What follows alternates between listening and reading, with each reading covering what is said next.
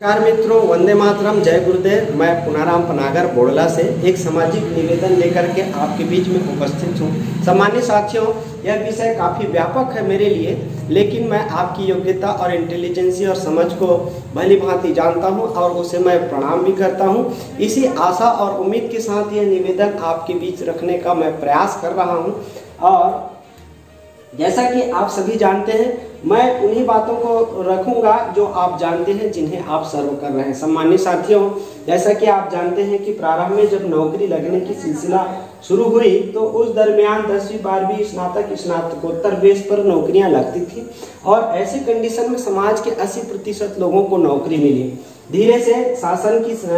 शासन की नीति बदलती गई, जनसंख्या बढ़ती गई, बेरोजगारी की संख्या बढ़ती गई। उस चीज़ को ध्यान में रखते हुए फिर डिप्लोमा डिग्री और आंशिक रूप से कंपटीशन लागू किया गया और अभी की स्थिति में आप जानते हैं कि एक छोटे से पोस्ट के लिए जहाँ लाखों की संख्या में आवेदन जाते हैं, वहाँ सरकार को अब कंपटीशन के आधार पर ही नौकरी देने का विधान बन गया है। और ये तो समय की मांग है, इसमें कोई जाति या सांप्रदायिकता की कोई बात नहीं है। शायद, और इसी बात को आप भली भांति जानते हैं और महसूस भी कर रहे हैं कि ये बढ़ती योग्यता के आधार पे अपने आपके बच्चे कैसे स्टैंड हो इस बात को ध्यान में रखते हुए आप अपने बच्चों को प्राइवेट विद्यालय जैसे संस्थाओं में भेज रहे हैं। और जहाँ पर आपका सालाना खर्च एक साल से ए,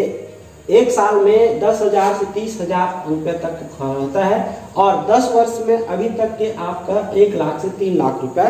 खर्च हो चुका है और यह खर्च आगामी समय में दो गुना से तीन गुना और दिन के दिन बढ़ते जाएगा। इतना खर्च करने के बाद भी आपका खर्च तो हो गया है, इसमें कोई दो मत की बात नहीं है। लेकिन खर्च करने के बाद भी आज भी कोई आपको कोई सामाजिक संरक्षण प्राप्त नहीं है। समाज की एक मज़बूत यूनिटी या एक आर्थिक ताकत संगठन नहीं बनी है, जिसके आधार पर अपनी और अन्य समस्याओं के लिए आप वहाँ जा सके, वहाँ अपनी समस्या रख सके और उसका एक ठोस रिज़ल्ट या उसका समाधान मिले। सम्मान्य साथियों, एक गुरु कृपा युवा कल्याण समिति पंजीकृत संस्था के माध्यम से इन सारे खर्च जो हैं समाज के और इतनी बड़ी राशि जो अदर स्थान में जा रहे हैं, जो अन्य जगहों पर जा रहे हैं, उन्हीं जगहों पर, हालाँकि मेरी बात को आप थोड़ा सा समझ रहे हैं वही जा रहा है आपका राशि, जिसका आप पिछले सोशल मीडिया के माध्यम से विरोध कर रहे हैं। सम्मानित साथियों,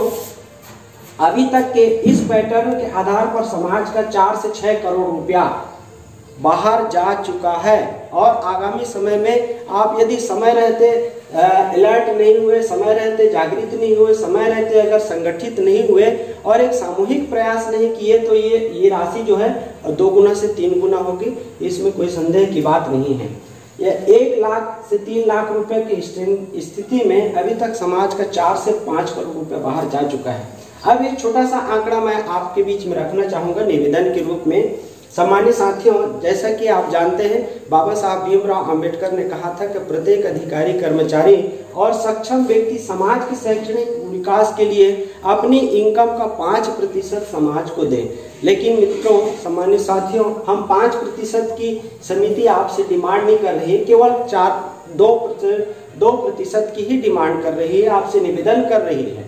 दो प्रतिशत में, जैसा कि ये तीस हज़ार के आधार पे हमने यहाँ पर गणना किया है, हालाँकि ये 400 अधिकारी कर्मचारियों में सभी का वेतन तीस हज़ार नहीं है, किसी का कुछ कम भी है, किसी का लाख, डेढ़ लाख, दो लाख, पचास हज़ार रुपया ऐसे कंडीशन में ओवरऑल एवरेज तीस हज़ार रुपये के आधार पे ये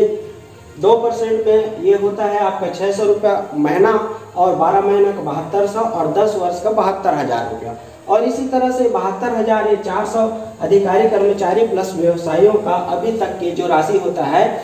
बहत्तर हज़ार गुणी चार सौ बराबर होता है दो करोड़ अट्ठासी लाख रुपया। ये पैसा समाज से बाहर जा चुका है। और ये अन्य खर्च है, जैसे डीजे साउंड सिस्टम खाना, ये समय समय में जो जन्मोत्सव है, विवाह है और कई प्रकार के सामाजिक कार्यक्रम होते हैं, उनमें समाज की जो राशि बीस हज़ार से एक लाख रुपया हर एक वर्ष खर्च होता है। इसमें कोई बहुत ज़्यादा गुणा भाग या सोचने की बात नहीं है हो ही रहा है और आगामी समय में होगा भी। ये खर्च हो चुका है डेढ़ डेढ़ करोड़ रुपया। और दोनों को प्लस करने के बाद जो राशि अभी तक के समाज से बाहर जा चुका है, वो चार से पाँच करोड़ रुपया। सम्मान्य साथियों, हमारा ये कैलकुलेशन बताने और आपके बीच में रखने का उद्देश्य ये है कि यदि आप और हम समय रहते हैं और इन समस्त अधिकारी कर्मचारियों से विशेष निवेदन के रूप में हम निवेदन कर रहे हैं, करबद्ध निवेदन कर रहे हैं कि समय रहते आप इस संस्था के बैनर तरह एक आर्थिक ताकत युक्त मज़बूत यूनिटी में आप सम्मिलित हो जाइए और समाज का हर ब्लॉक, जिला और राज्य स्तर पर ये यदि विद्यालय बनता है तो सोचिए कि ये जो राशि है और ये जो राशि है, ये दोनों राशि समाज के बीच में रहेगा, जिससे समाज के कम से कम सैकड़ों बेरोजगारों को व्यवसाय मिलेगा और नए नए जो व्यवसाय के तौर तरीके हैं और कौशल प्रशिक्षण जिस तरह से शासन के द्वारा कराया जाता है, उसी तरह से पर्टिकुलर सोसाइटी के द्वारा और इतने अनुभवियों के द्वारा यहाँ पर रह रहे बच्चों को भी शिक्षा के लिए उचित गाइडलाइन और करियर काउंसलिंग और सेमिनार आयोजित किया जा सकता है। जैसे कि मान लिया जाए, बिलासपुर में ये हॉस्टल बनता है, विश्वविद्यालय बनता है और यहाँ हमने 100 सेलेक्टेड बच्चों को जवाहर नवोदय विद्यालय के तर्ज पर यदि रखते हैं तो ये 400 कर्मचारी अधिकारी अपने विषय में ऑलरेडी महारत हासिल रहे किए होते हैं, यदि एक एक जनरल नॉलेज का भी वहाँ पर गाइडलाइन करेंगे तो यहाँ रह रहे बच्चों को 400 जनरल नॉलेज के एक नोट्स बन सकता है, जो उसके आगामी कंपटीशन के लिए काफ़ी मदद मिल सकती है। सम्मान्य साथियों, जैसा कि एक चीज़ और रखना बताना चाहूँगा, निवेदन करना चाहूँगा कि आप जिस विद्यालय में दस हज़ार से तीस हज़ार, यानी एक दस, एक लाख से तीस लाख जैसा कि एक चीज़ और रखना बताना चाहूँगा, निवेदन करना चाहूँगा कि आप जिस विद्यालय में दस हज़ार से तीस हज़ार एक लाख से तीस लाख रुपया, तीन लाख खर्च करके पढ़ाते हैं, वहाँ आपके बच्चे के लिए एक विषय के लिए केवल एक ही शिक्षक होता है, जबकि आपके पास 120 124 टीचर है और छह विषय है। कुल मिलाकर के यदि 124 में छह का भाग देंगे तो ये एक विषय के लिए आपके 20 टीचर अब सोचिए, उस विद्यालय, इस विद्यालय की पढ़ाई का स्टैंडर्ड भारत के दुनिया के तो नहीं कहूँगा, लेकिन केवल छत्तीसगढ़ की एक ऐसी संस्था होगी जहाँ एक विषय के लिए 20 टीचर है। और एक विषय में 20 पार्ट होते हैं मतलब एक पार्ट के लिए, एक पार्ट के लिए एक टीचर तो आपके बच्चे की पढ़ाई का स्टैंडर्ड क्या होगा? आपको यहाँ सामाजिक सुरक्षा भी मिलेगा, और बहुत सारी ऐसी चीज़ें हैं जिनको खुले शब्दों में और समय की कमी के वजह से कह पाना, निवेदन कर पाना काफ़ी कठिन है। सामान्य साथियों, मैं आपसे यही निवेदन करना चाहूँगा कि गई बात गणपत के हाथ, बीती बात विसार दे आगे की सुधले इन्हीं भावनाओं के साथ आप सभी से मेरा अनुरोध है कि हमें किसी चीज़ का विरोध नहीं, हमको उसकी बराबरी करना है। आज विरोध के चक्कर में हमारा कोई विद्यालय नहीं बना, हमारा कोई हॉस्टल नहीं बना। सोचिए, एक अन्य अदर सोसाइटी के आप जहाँ अपने बच्चे को पढ़ा रहे हैं, उसके बारे में ही आप कल्पना कीजिए कि आपका पैसा कहाँ जा रहा है। किस संस्था में जा रहा है, किस व्यक्ति के पास जा रहा है, वो राशि यदि आपके पास रहेगा, आपके समाज के पास रहेगा तो कितने लोगों को रोज़गार मिलेगी, कितने लोगों को सुरक्षा मिलेगी। और समय समय पर यहाँ पर डांस कॉम्पिटिशन संगीत, खेल, साहित्य तरह तरह की विधाओं से इसको ट्रेन किया जा सकता है। और दूसरी बात यह है कि अब बात प्रश्न ये आती है कि यहाँ जो व्यक्ति अपना निवेश करेगा, उसके बच्चों को लाभ नहीं मिलेगा तो हम यहाँ पर क्यों निवेश करें? तो उसके लिए हम ये निवेदन करना चाहेंगे कि जिन समाज के बच्चों को हम सेलेक्ट करके यहाँ भेजेंगे, आज देखिए 400 अधिकारी कर्मचारी समाज से बाहर निकल गए हैं। कोई भी अधिकारी कर्मचारी समाज के सहयोग से डायरेक्ट सहयोग से, या यूँ कहूँ इनडायरेक्ट सहयोग से भी कोई आगे नहीं बढ़ा है। ये सब अपने मेहनत के बलबूते और अपने घर की और अपनी बुद्धि की और अपनी अन्य परिस्थितियों की वजह से ही इस कंडीशन में पहुँचे हैं।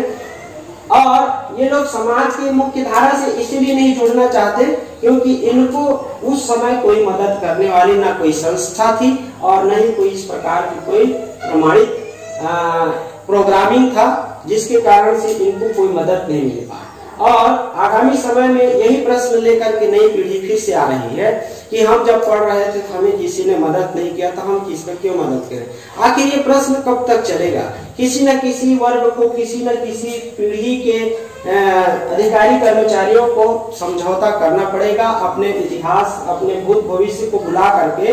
इस सिस्टम में काम करना पड़ेगा ताकि आगामी समय में समाज का कोई भी बच्चा, अधिकारी, कर्मचारी बने और वो बन करके फिर से समाज के उन लोगों की सेवा करे, उन लोगों की सेवा के लिए आगे आए जिनकी ज़रूरत है समाज को। आज आप देख रहे हैं आधुनिकता के चलते बच्चों की पढ़ाई का आप खुद सर्वे करिए कि आपके आसपास में पहले जो बच्चे पढ़ रहे थे, उनमें से कितने लोगों को नौकरी मिल गई या नौकरी लगने के कगार में? और आज की स्थिति में जो बच्चे पढ़ रहे हैं, उनकी स्थिति क्या है? और ये जो मांग हो रहा है कंपटीशन की जो जो डिमांड बढ़ रही है दिन के दिन, उसके आधार पर आपके बच्चे कहाँ हैं? इन सारे प्रश्नों का यदि आप तर्क लगाएँगे, अनुमान लगाएँगे, निश्चित रूप से यहाँ पर आपको एक समिति की आवश्यकता पड़ेगी, एक संस्था की कल्पना होगी। और वहाँ पर ही आपके आने वाले पीढ़ी को एक सुनियोजित ढंग से, सुनियोजित ढंग से हर विधा में, केवल राजनीति ही नहीं, हर विधा में, संगीत में, खेल में, साहित्य में, और जितनी भी विधाएँ हो, सभी विधाओं में उनको पारंगत किया जा सकता है। सम्मानित साथियों, अब वक्त नहीं है, आपसी बहस, तर्क वितर्क का, एक दूसरे को आगे पीछे या नीचा या ऊँचा दिखाने का। इसलिए आप सबसे मेरा एक बात पुनः करबद्ध निवेदन है कि समय रहते समिति में, संस्था में जुड़िए और जुड़ करके समाज के भावी पीढ़ी के लिए एक बेहतर योजना बना करके कार्य करिए। धन्यवाद। जय गुरुदेव। वंदे मातरम।